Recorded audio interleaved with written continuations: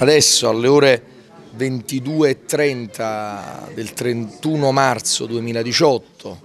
sabato prima di Pasqua, dopo giorni e notti di durissimo lavoro abbiamo approvato il bilancio del Comune di Napoli. Ci tengo a,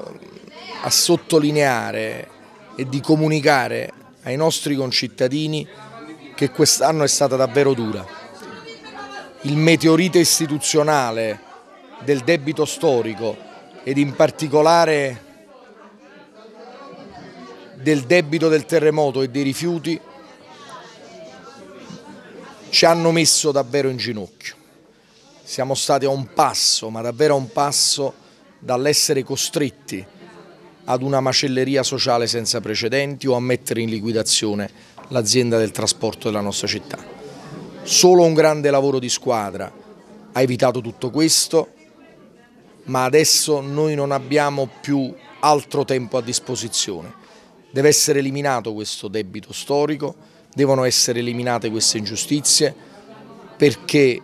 questo attacco alla città è diventato insopportabile e rischia di avere delle cadute irreversibili sui diritti e bisogni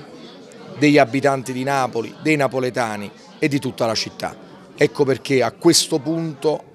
avendo ottenuto questo risultato di cui siamo orgogliosi, cioè di non aver tagliato nulla, nonostante una sforbiciata di oltre 100 milioni di euro, abbiamo fatto un miracolo lauico e magari la Pasqua in questo ci ha portato sicuramente bene e ci ha portato fortuna, ma adesso è venuto il momento della lotta e della mobilitazione popolare che si potrà arrestare solo quando avremo raggiunto i nostri risultati, norme, atti amministrativi e leggi che eliminino queste discriminazioni e queste ingiustizie volute,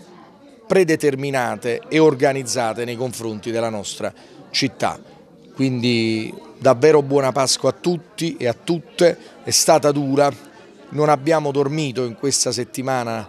davvero quasi per nulla, un grande lavoro di squadra e voglio che la città sia a conoscenza che non è solo il sindaco che ha lottato fino a questo punto, ma tutti gli assessori, tutta la nostra squadra, tutti gli impiegati, funzionari, dirigenti che hanno lavorato a questo bilancio sono stati davvero tutti quanti bravi. Questo è un grande orgoglio per la città, l'abbiamo fatto tutti noi sacrificando qualsiasi altra